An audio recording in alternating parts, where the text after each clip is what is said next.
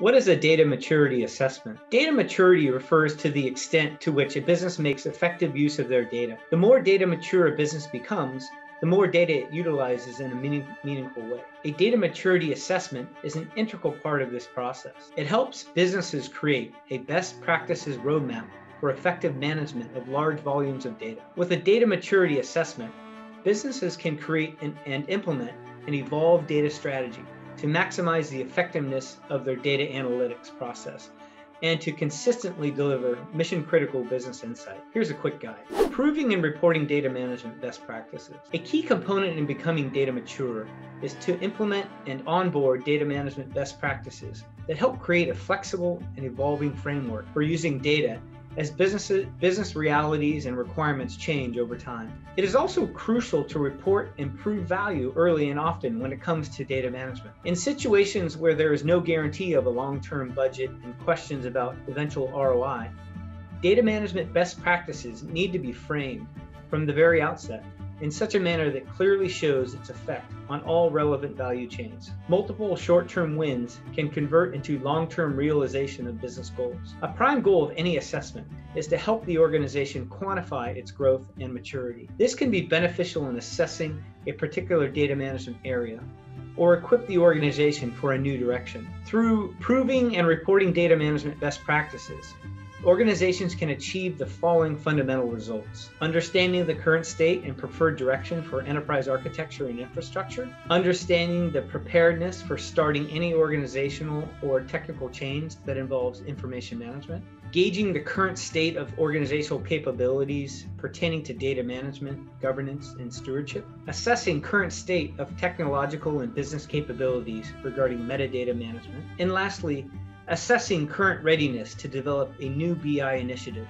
like a data warehouse. Scope and capabilities of data management. As integral parts of the data management framework, it is crucial to understand the relevance of each part of the process in order to accurately define the scope and capabilities of data management. You need to start by taking a look at the data storage and data integration methods in use. From there, it makes sense to move on to the other basic aspects of data management, such as data stewardship and data governance. Through data governance and master data management, one crucial result that can be achieved is an overall improvement in data quality. By enhancing overall operational effectiveness and driving insight based decision making in business, data management can make organizations more agile.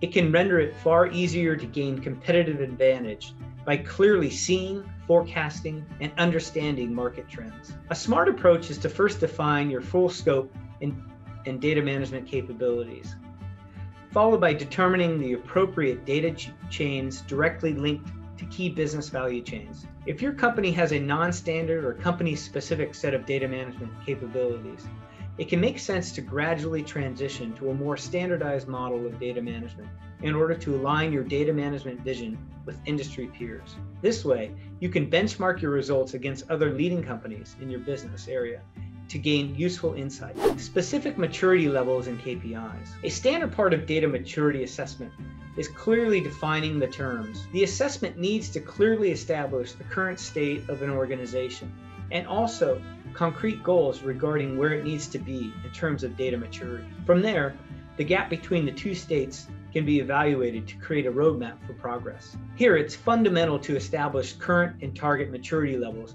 as a quantifiable entity.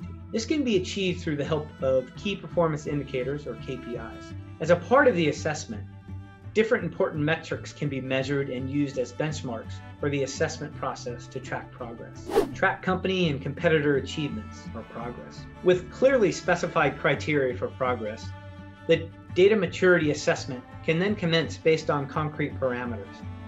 Using the specific KPIs, businesses can track progress in a quantifiable manner while also keeping an eye of competitors in similar states of data maturity. While keeping track of progress, it is also essential to keep refining and evolving the assessment process to hit pivotal milestones so that the integrity of the assessment can be preserved and accurate results derived. Have questions? Call or email anytime. At nextphase.ai, we help businesses navigate their data journey every day. Thanks for watching.